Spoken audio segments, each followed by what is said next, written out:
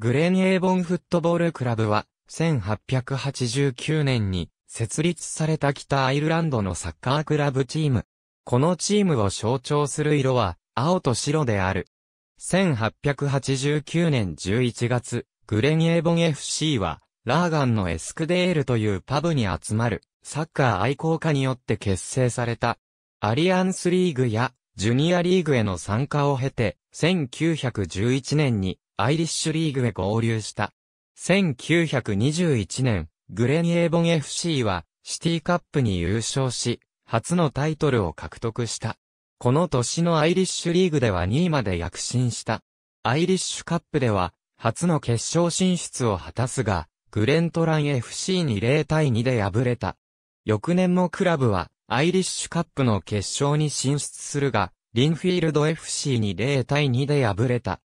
1950年代から1960年代の初頭にかけてクラブは黄金期を迎え、このおよそ10年未満の間に14ものタイトルを獲得した。クラブには、ウィルバーカッシュを筆頭に、リーグのベストプレイヤーが顔を揃えていた。1951から52シーズンは、ベルファスト街のクラブとして、初のリーグ優勝を果たした。1957年には、デリーシティ FC を破り、アイリッシュカップで、初優勝するとともに、リーグとのダブルを達成した。初の欧州の舞台となった翌シーズンのチャンピオンズカップでは、1回戦でデンマークのオーフス GF と対戦した。グレンエーボン FC は敵地での第一戦を無得点で引き分けるが、ベルファストのウィンザーパークで行われた第2戦を0対3で落とした。1960年以降、成功から縁遠くなったクラブは、1989から90シーズンのアイリッシュリーグカップで、久方ぶりのメジャータイトルを獲得した。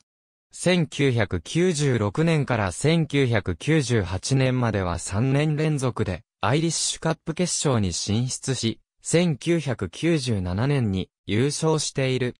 モーンビューパーク本拠地、モーンビューパークは、ラーガンの中心地から1マイルほど南に位置し、M1 モーターウェイの10番ジャンクションからハイストリート、ユニオンストリートを南西に3マイルほどの距離にある。最寄り駅は、ベルファスト、番号線のラーガン駅。ベルファストのヨーロッパバスセンターから発着する、アルスターバスゴールドライン250から251、系統は、ハイストリートのバス停に停車する。駅からスタジアムまでは、徒歩で15分、バス停からは10分ほどの時間を要する。駐車場は、メインスタンド後方とスタンドのないゴール裏にある。スタジアムは閉院した病院跡地に建設された。収容時には9000人で、座席数は4000人分ある。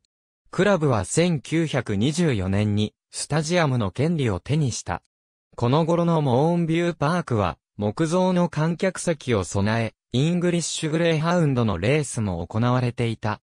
1951年にはコンクリート製のスタンドが完成し、その後幾度かの改修、増築を経て、2002年に照明が設置されて、現在の形となった。スタンドは、ユニオンストリート側を除く3方にあり、すべてのスタンドに屋根がある。バックスタンドは、基本的にアウェイサポーター用で、残り2方のスタンドが、ホームサポーター用となる。北アイルランドリーグ得点王、 NIFWA プレイヤーオブザイヤーアルスターフットボーラーオブザイヤー。ありがとうございます。